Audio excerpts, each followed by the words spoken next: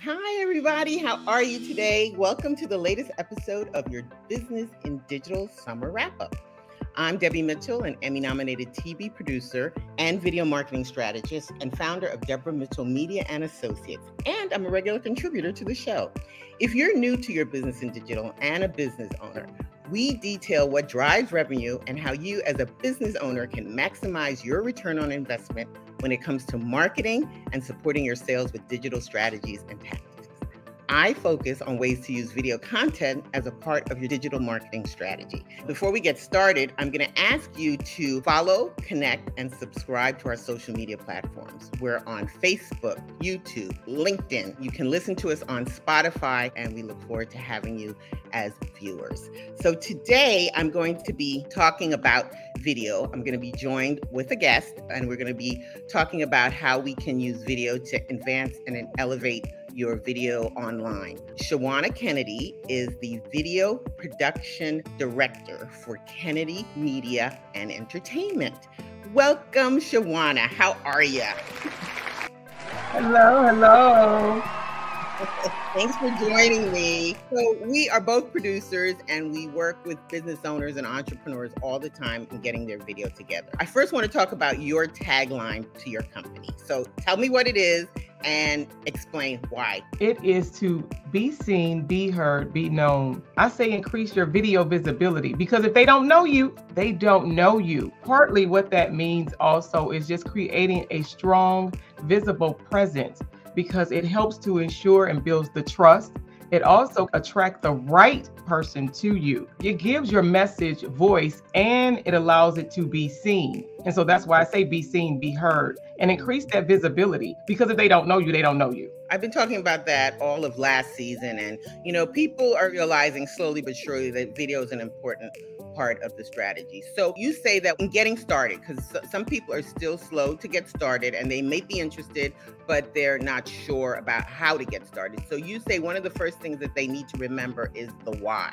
Tell me about the why. We all need to know our why. I'm not even going to start and or stop with just creating videos or visibility it's in whatever we do. So this doesn't matter if you're an entrepreneur business owner. This is for every person we have to understand our why because that why is what drives our message.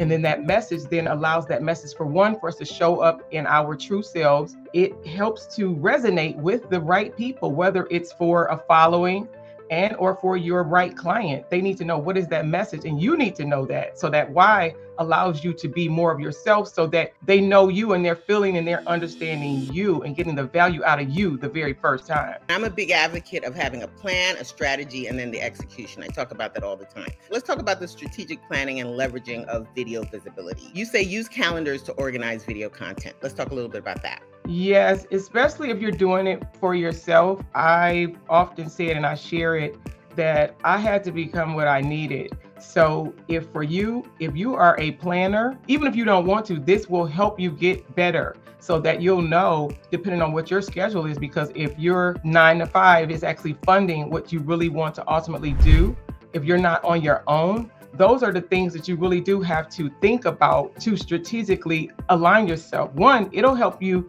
to relieve less frustration. If you know based off your calendar, you know the things that you're doing to help guide you. So the calendar really plays well into the next question because you talk about aligning video marketing with seasonal and promotional events. So we're in the summer season now. I know you're a big fan of themes. You like everyone should have a theme. So let's talk a little bit about that. Yes, you have to have it. And like you said, I love, love, love the summertime. I mean, it might help just a little bit because I was born in the summer. It keeps your content, your message relatable, right? It keeps people interested. It allows you to be more engaging. That way, if it's with the summer, for example, we were speaking about July, you have fireworks. It's what in with that theme, even if you're not into it, but it's like what with your messaging could you say, how are you showing up and being free? What are the fireworks going off in your business? What alarms that should be set for you? So you can use those to help drive that content to keep it fresh, keep it relevant. I want to talk a little bit more about leveraging the video content for leveling up exposure. I've run across some clients who may not be very active on social media, but they do want to have a video presence. And I encourage them to have a sizzle reel. I said, okay, start small, have a sizzle reel. That's something that can live online on your website. You can actually put the link of it in the signature of your email. So it's it's still a way, even though you're not consistently on social media with a calendar, you can still have the video and people can get a little taste of you. So tell me, do you work with sizzle reels? How do you feel about clients starting that way? No, I love that idea because I'm all about, you know, my primary focus is video. Mm-hmm. And so having that, it is a quick way to send it out. For example, if you did, if you needed it, you could say, hey, send me this, send me your bio, send me your picture. Boom. That allows you to show up even when you can't. Mm-hmm. Yeah. And it's thinking about those times when you physically can't show up. What do you have in your chest that you can actually show someone that is quickly say, do I want them? Do I want, do I want him or her? Yeah, for sure. For sure.